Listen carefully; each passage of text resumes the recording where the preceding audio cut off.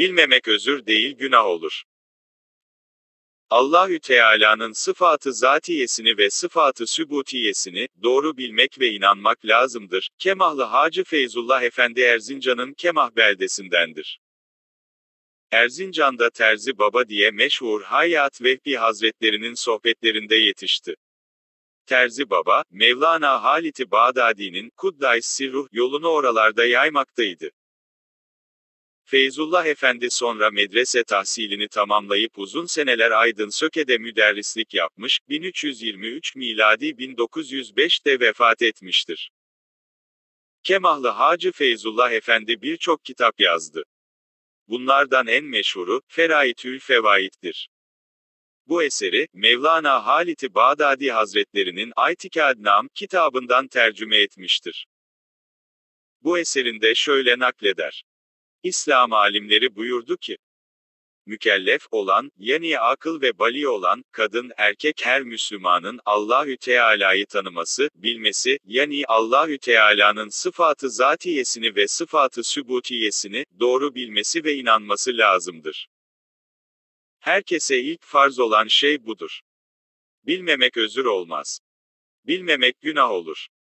Ahmedoğlu Haliti Bağdadi'nin bu kitabı yazması, başkalarına üstünlük ve bilgi satmak ve şöhret sahibi olmak için değildir. Bir yadigar, bir hizmet bırakmak içindir. Allahü Teala, bu aciz olan Halit'e ve bütün Müslümanlara kendi kuvvetiyle ve Resulünün mübarek ruhunun yardımı ile imdad eylesin. Amin. Allahü Teala'nın sıfatı zatiyesi altıdır. Bunlar vücut, kıdem, beka, vahdaniyet, muhalefetün lil havadis ve kıyamü bi nefsihidir. Vücut, kendiliğinden var olmak demektir. Kıdem, varlığının öncesi, başlangıcı olmamaktır. Beka, varlığı sonsuz olmaktır, hiç yok olmamaktır. Vahdaniyet, hiçbir bakımdan şeriki, naziri, benzeri olmamaktır.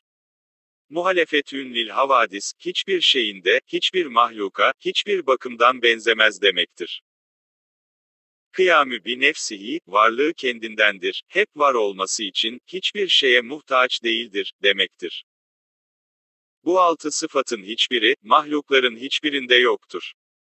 Bunların, mahluklara hiçbir surette teolukları, bağlantıları da yoktur. Bazı alimler, vahdaniyet ve muhalefetün lil havadisin aynı olduklarını söyleyerek, sıfatı zatiye beştir, demişlerdir. Allahü Teala'dan başka olan her şeye, masiva veya alem, denir. Alemlerin hepsi yok idi.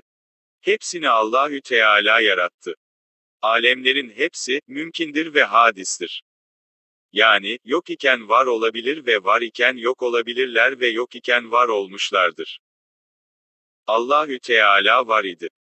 Hiçbir şey yok idi, hadisi şerifi, bunu bildirmektedir. 24 Aralık 2019 Türkiye Gazetesi, bizim sayfa, Vehbi Tülek